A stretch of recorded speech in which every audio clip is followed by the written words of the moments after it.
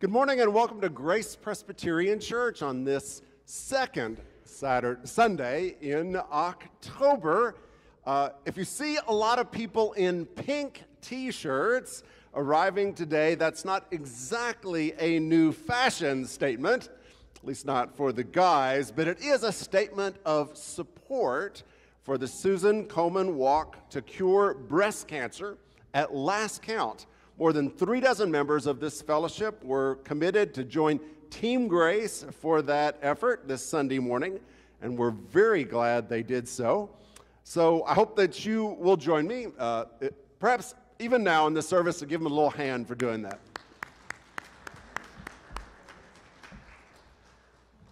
In the Bible text we'll read today, the Apostle Paul clearly needs a helping hand He's anticipating a long winter of confinement, probably in Rome, and he's not yet prepared for that season. Not only that, he's lonely. Just as Komen needs Team Grace to help them fight against breast cancer, Paul needed a good team as well. But most of those whom he wanted to participate were not available. And that's why he asked his best friend, his best and truest friend, to come. We'll be saying much more about that a bit later in the service, but for now, I invite you to join me in the worship of a God who does walk with us even when we feel alone, and who sends us to serve others in their struggles too.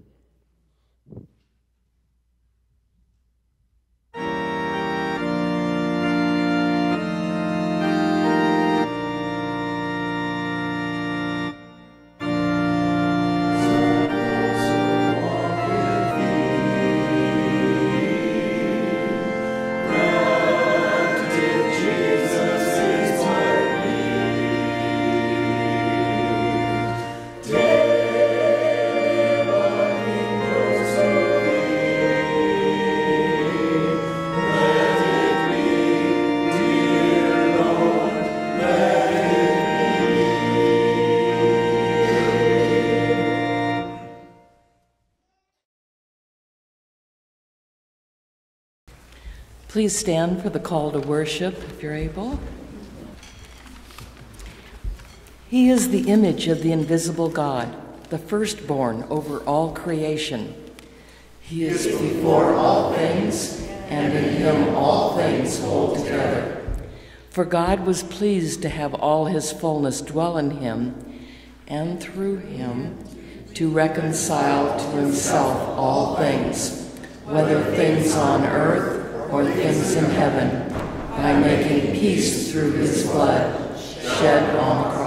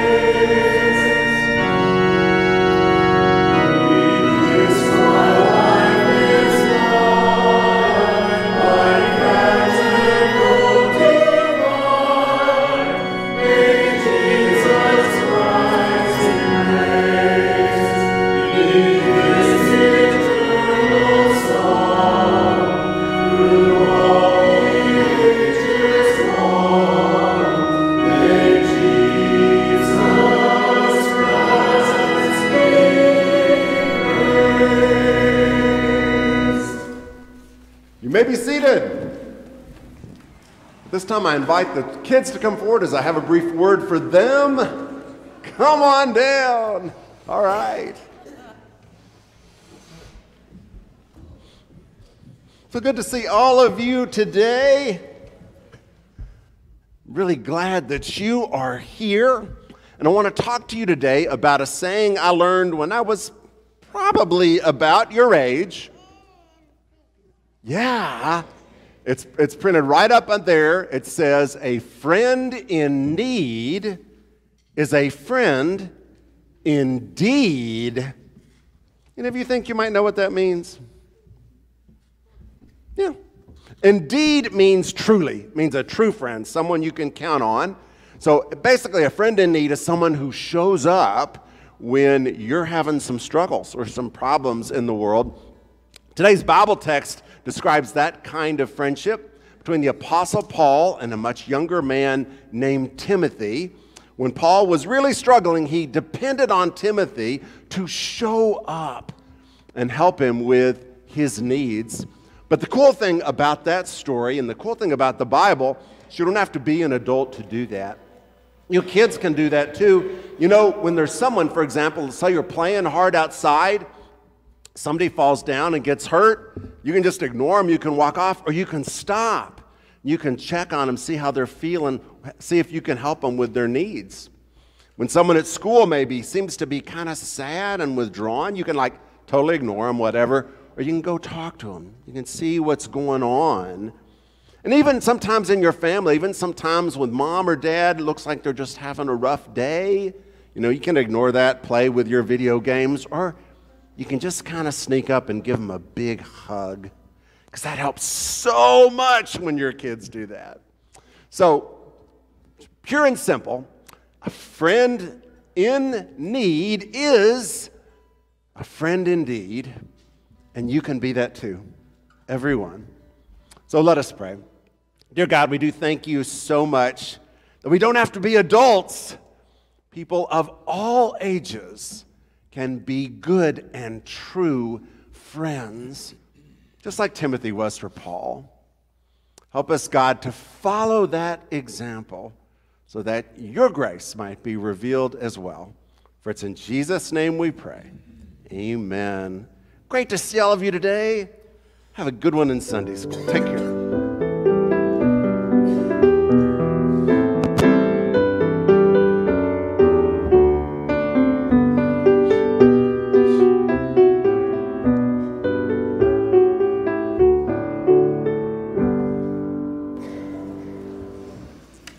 Are invited to consider how we live as followers of Christ and the saints, to look at our decisions and our actions straight on, and to hold them up the, to the examples they set, and to make amends.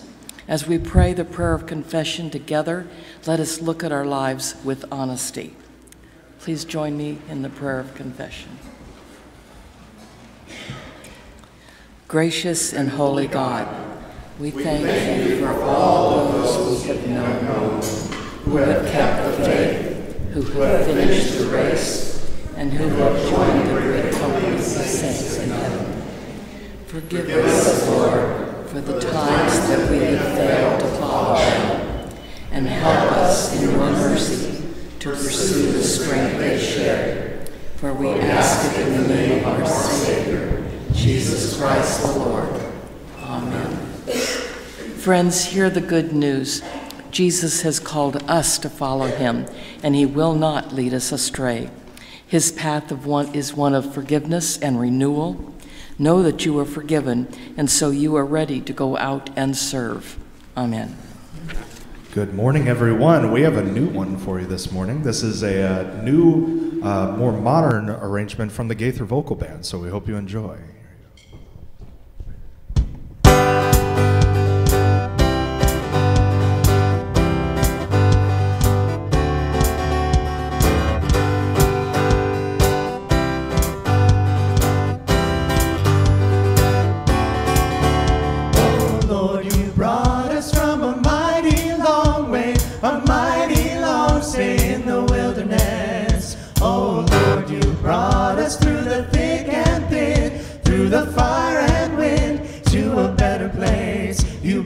sound.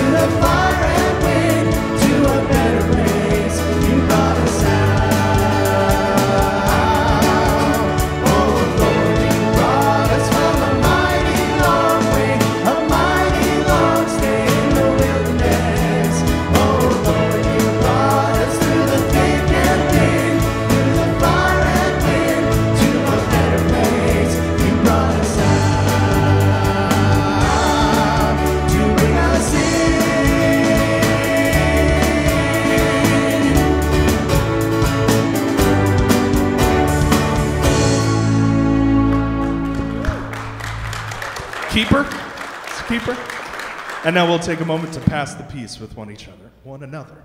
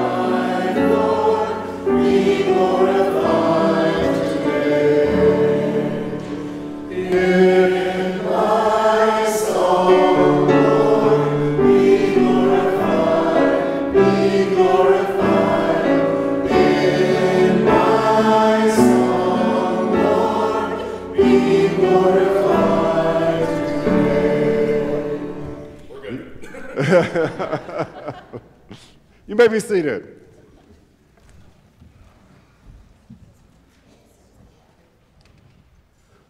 One way in which we can glorify God is by sharing in many opportunities for both service, faith, and fellowship. And there are lots of those coming up this month. First, as I've already mentioned, we can thank those who have completed the Susan B. Komen Walk for to cure breast cancer, not only with our words, but also with our cash. There are links for that purpose on our website, and probably several folks here today who could receive that offering as well. Second, we can bless the faithful few who work every single week to prepare this church for guests, all sorts of guests, by joining the church grounds cleanup this coming Saturday at 9 a.m., especially for those who work in the nonprofit sector where so many things are intangible. There's actually something very satisfying about working on the grounds, trimming trees and shrubs, immediate results. Don't have to worry about long term stuff. There's also something quite rewarding about spreading mulch. So, because all that makes our ground look good. Um, so, if you'd like to be with us, we would love to see you there. Third, you can join both parents and children of our church for a showing of Hotel Transylvania, a really lighthearted take on Halloween. No one has to get scared, you just have to come have some fun. Costumes optional, and that's this Saturday at 5 o'clock here in the sanctuary. Fourth, if you know how to use a paintbrush or perhaps some other simple tools, you can join us at a Brush with Kindness, our Habitat for Humanity project in Sun City. That will be a week from Saturday. Um, and our purpose in doing all this is to help our, some senior citizens to remain safely in their homes. That starts at 8 o'clock on the 21st. Several other opportunities for fellowship and service are listed in this month's newsletter. Don't have time to share all of them now, but copies of that newsletter are available in the narthex, and many of you will have received one by now online. Moving on to prayer concerns. Hope you'll remember Casey Parks, who was hospitalized last week after a head injury. He's home now, but not quite out of the woods, so we hope you'll pray for him. Hope you'll remember George Castro, as, who has had increasing difficulty eating within the last few months, lost a lot of weight. Remember Barb Fisk, who's feeling cooped up until she finally gets cleared for surgery. Sally Grothy, who will be undergoing a number of tests for health issues later this month.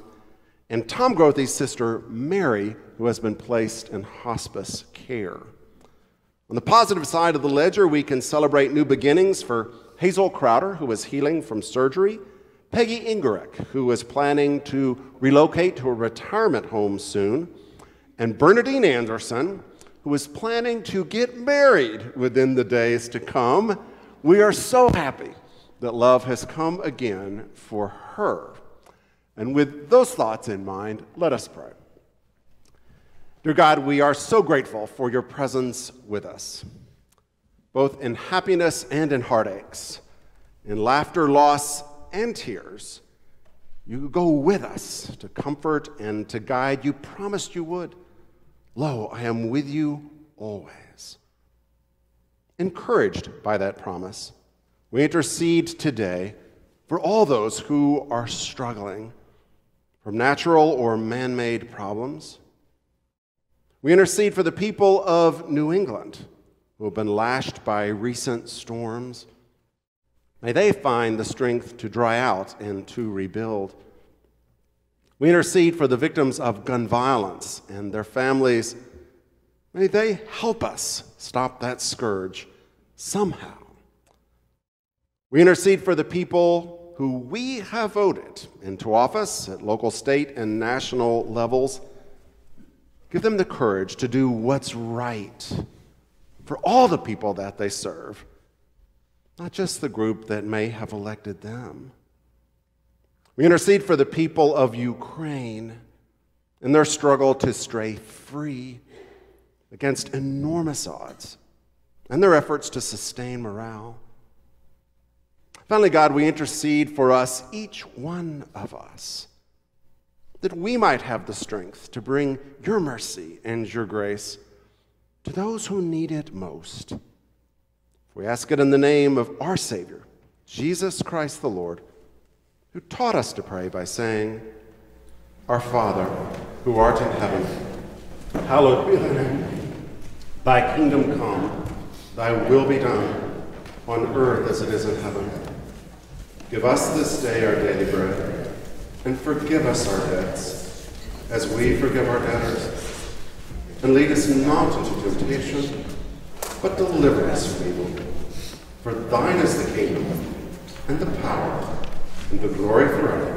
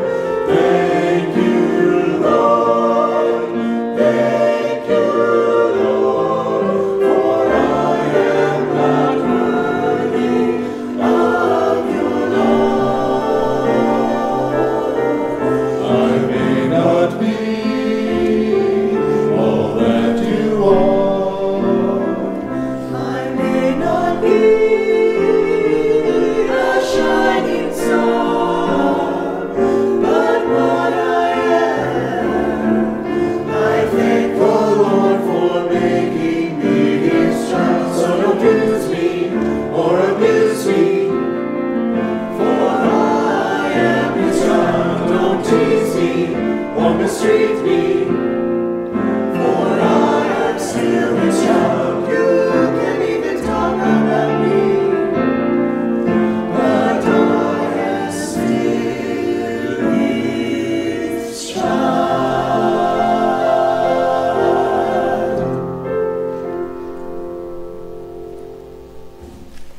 Thank you, Chancel Choir. There is so much power in knowing that we are God's children and that He cares for us. There's also a lot of power in developing that relationship with others, humans outside our own families who we might come to see as surrogate parents, and humans outside our family who we might come to see as surrogate children, too. From everything we can tell, the Apostle Paul had that sort of relationship with Timothy, a devoted young disciple whom he treated like a son. And it's pretty clear in Scripture that Timothy also felt close to him. That's why when Paul was struggling with loneliness in a cold, dark prison cell, he chose to write to Timothy with a very clear request Come. There are things that I will need to survive the winter months. I need for you to get them. I need for you to bring them. And I need for you to do that now. It's a pretty powerful message. Comes to us from the second letter of Timothy, chapter 4, beginning with verse 9. So I invite you to listen carefully for the Word of God to you.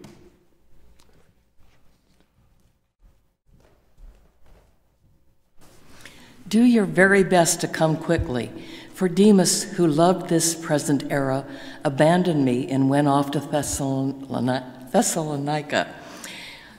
Crescens has gone into Galatia, and Titus to Dalmatia, while I sent Tychicus to Ephesus. Only Luke is with me. Lots of names in this paragraph. The first, Demas, is obviously a disappointment. That's because he had been listed as a faithful disciple and a two other letters that Paul wrote. We don't know exactly what changed between those letters and this one, but something in Thessalonica must have been incredibly appealing. Perhaps a romantic interest, I don't know. I do know that Paul felt abandoned by him and disappointed by that choice. The other folks in this list are probably not disappointments, at least not moral disappointments. Titus, for example, was revered throughout the church, which often sent him to accomplish tasks that were both sensitive and delicate when churches were in conflict. One of the most famous was his mission to admonish the Corinthian church and then to collect a big offering from them. Neat trick, if you could pull it off. In a similar manner, every reference to Tychicus in the New Testament is positive while the work of Crescens is otherwise unknown.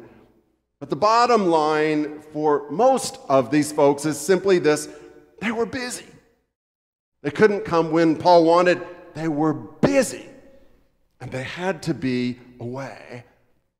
Unfortunately, that didn't make life easier for Paul. It made it harder, much harder, because he was down to one one person, Luke. One person who could feed him, one person who could clothe him, one person who could send his letters to the world. Most important writer of that era had only one attendant to meet his every need while he was in prison. And that made life very difficult for them both. I'm sure he was grateful for Luke. I'm sure Luke was grateful for him. But that level of dependence is exhausting. And that's why Paul says, Come. Do your very best to come quickly. And do not come alone. Get Mark and bring him with you, because he is helpful in my ministry. When you come, bring the cloak that I left with Carpus at Troas, and my scrolls, especially the parchments. So Paul requests three things here. First, a disciple by the name of Mark. Second, a cloak to keep him warm within the winter months. Third, scrolls, rolled up scrolls, especially those that have been made with parchment. Those of you who haven't heard that term in a while, parchment is actually lamb's skin that is extensively treated before anyone writes on it. They did it in the ancient world because lambskin parchments lasted much longer than others did, but it was very expensive. So they were usually reserved for extremely precious books, typically books of the Bible. I'm guessing in this case it might be Genesis, Exodus, Isaiah, and Psalms, because all those are used extensively by New Testament writers, but we cannot know for sure.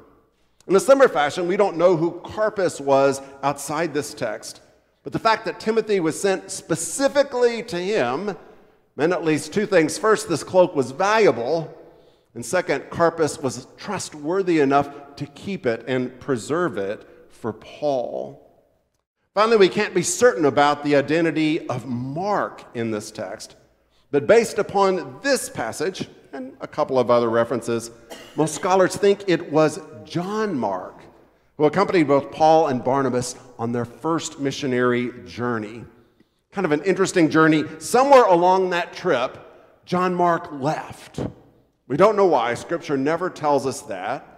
Barnabas thinks he's still trustworthy. Barnabas wants to continue working with him later. Paul doesn't. Paul's really, really ticked. Doesn't want to ever see that guy again. So the fact that Paul is asking for him here is actually quite remarkable. All these other faithful disciples, like Titus and Tychicus, they're not available. He doesn't ask for them. But John Mark is. And so Paul asks for him. That gives us some hope, I think, for other characters in this passage, too.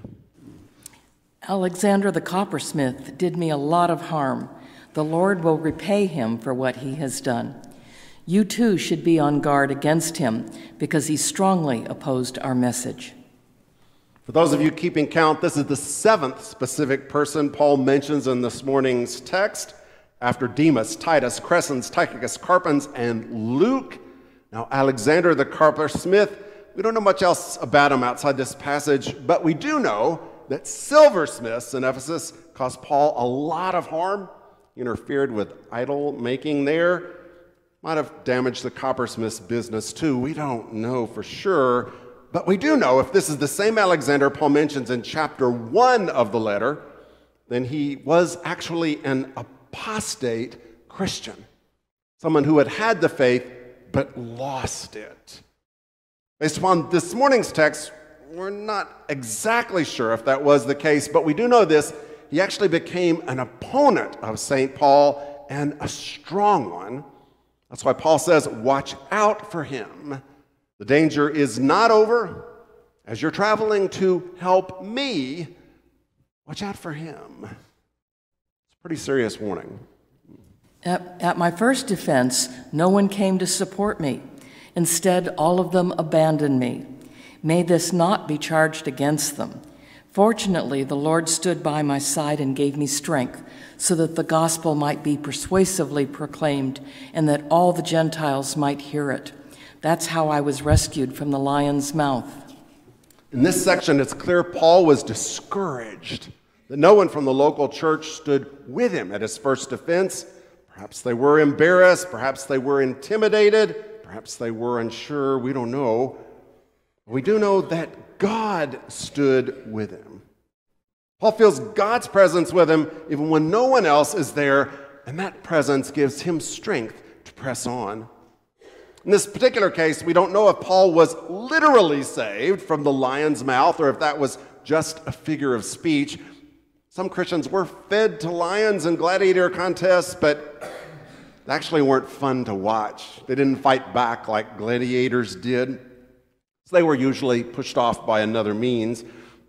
In any case, we do know Paul was saved, at least in some sense, both by God's presence with him and by his own words. That fact gives him confidence to work on. Having seen this, I am confident that the Lord will rescue me from every evil deed and bring me safely into his kingdom in heaven. To him be glory forever and ever. Amen. Greet Priscilla and Aquila and the household of Onesiphorus. Erastus remained in Corinth, and I left Trophimus sick in Miletus. Do your best to come before winter. Eubulus greets you, and so do Pudens, Linus, Claudia, and all the brothers and sisters. The Lord be with your spirit, and grace be with you all. This is the word of the Lord.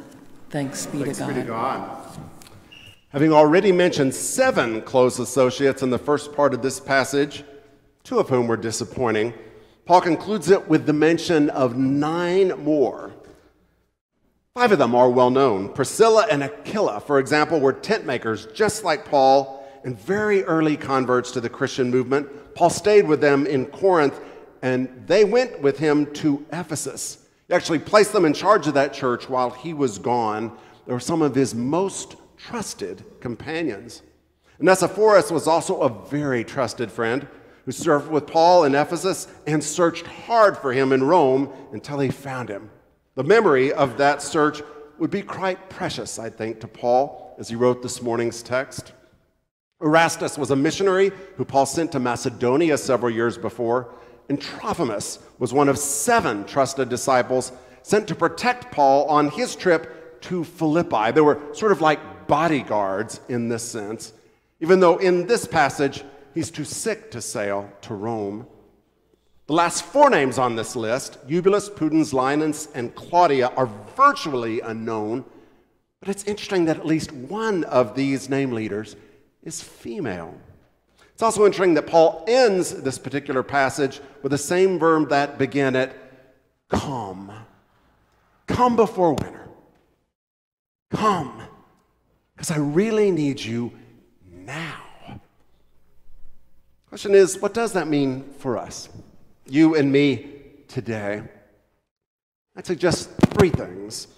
First, healthy faith is built upon relationships, all sorts of relationships. It's not just you and God, it's you and me and God and lots of others.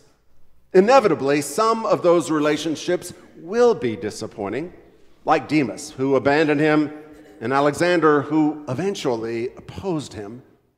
But most of them are not. Some of the folks in this text are basically bodyguards for Paul, while others served as emissaries, delivering Paul's directives to the church. The very best of them were friends, really close friends, kind of friend you can trust to act like family, the kind of friend who drops their plans to meet your needs. There are three of those, the 16 people in this morning's text. Luke, who stays with him when all the rest are gone, Timothy, who will go to him from everything we can tell, and Mark, whom Timothy is asked to bring as well. As I mentioned earlier, the inclusion of Mark's name is pretty remarkable in this context because Mark had not been helpful to Paul in the past. But by the time this text is written, something changed dramatically. So dramatically that Paul asks for him by name. That means there's room in Paul's circle for all sorts of friends even those who might have hurt him in the past. If we follow his example, that will also be true of us. In order to be faithful, in order to be useful, we need to build relationships, all sorts of relationships. And forgiveness is often essential in that task. That's the first point of the passage. Here's the second one. Some relationships require extraordinary levels of attention. They just do. If you live long enough, there will come a time when you need help from good friends. If you're lucky, you might have a spouse like Luke staying with you every day, or perhaps an adult child might fill much of that role, but if you live long enough, one's not enough. Just one woman, just one man is not enough. And when that day comes, there's some hard questions to ask. But the most important one is who? Who will do it? Who will change their plans to care for you?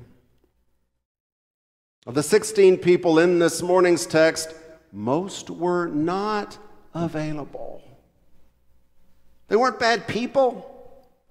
They were faithful from all we could tell, but they simply weren't available to Paul.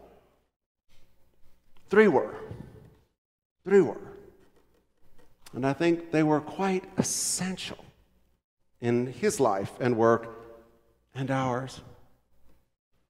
Thinking about that reality, I was reminded of a woman whose story I heard about the other day. She was facing a terminal diagnosis. And she had no children who could help, so she called her friends together not to say goodbye, but to say help. I need you. I really do. I don't want to wear you out, But I've got to have some friends who will stick with me in this last journey I must make. Can I count on you? Some said no. Some were able but not willing. Some were willing but not able. Life just didn't allow that for them. But some said yes. They organized themselves to help her, you know, some on Tuesday, some on Thursday, some on weekends, all that sort of thing. They also hired help in the evenings.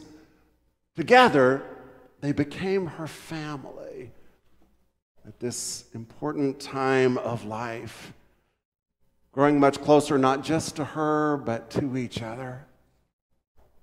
They also had some wonderful times together of prayer and worship with the Lord.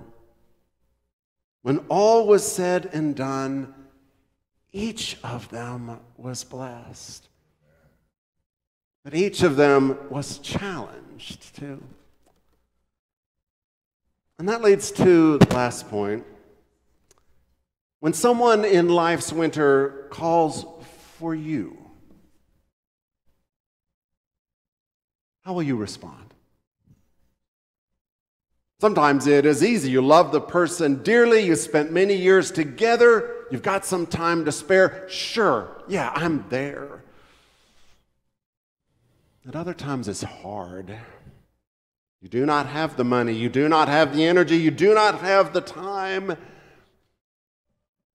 And if that is the case, this job is not for you. That's an interesting well. As uh, a spiritual director once told me many years ago, the world is full of needs. You can't possibly meet all the world's needs. But a calling is a need with your name on it.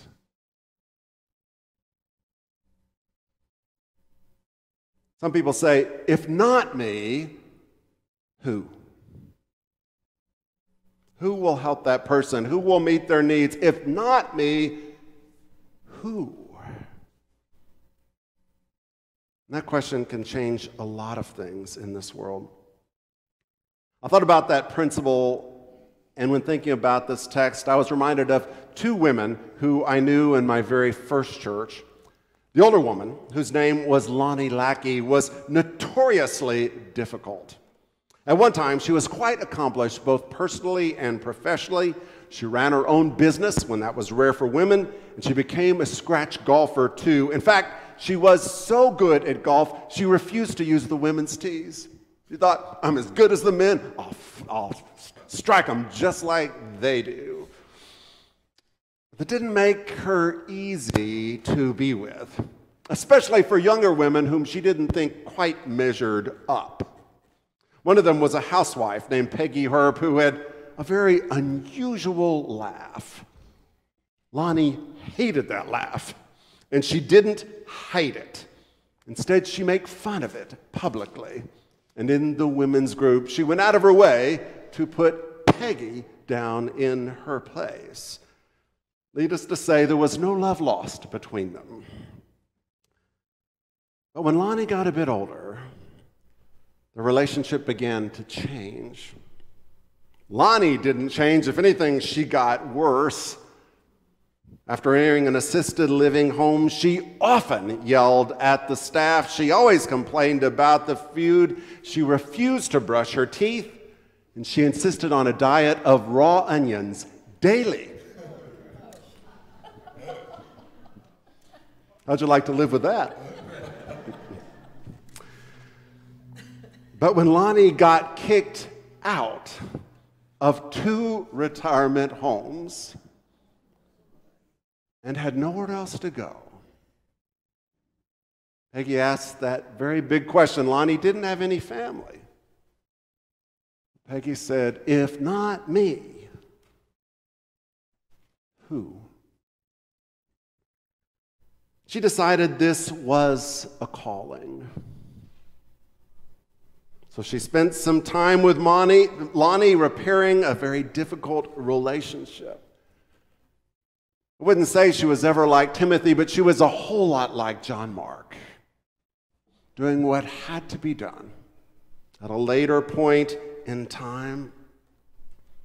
She dropped everything she had to care for Lonnie during the next several weeks.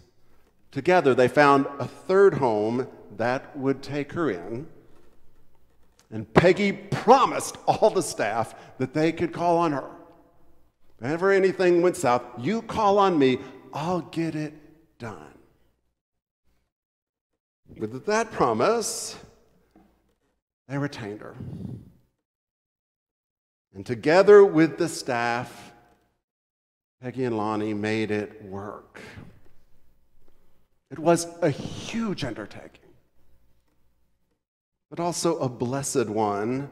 So blessed that Peggy grieved for many days when Lonnie finally did pass away. And so blessed that Lonnie once said to me, I misjudged her. I didn't understand who she was. Now I do. Now I do. And I'll never be the same. So the bottom line is simply this life's demanding, life's compelling. You can't serve everyone or meet every need. But there are some needs that really do have your name on it. Who's your Timothy? Who's your Mark? Who's your Paul? And what can you do to make some space for them?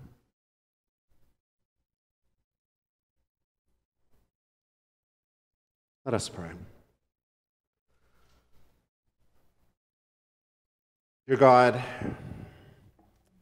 sometimes the very biggest challenges that we must face in life become the biggest blessings too. If we choose to heed your call. So help us, God, to listen and teach us, God, to serve. For we do ask it in our Savior's holy name. Amen.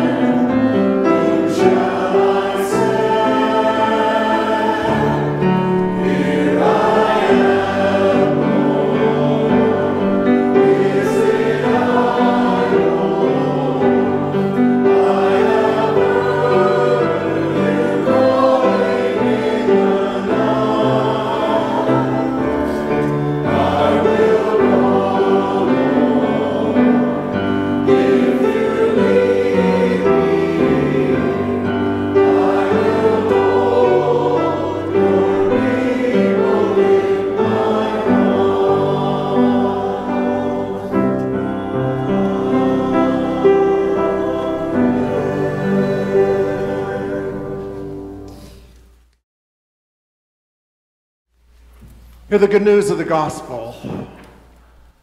God has a call for every one of you. Sometimes it is easy, sometimes it is hard, really hard.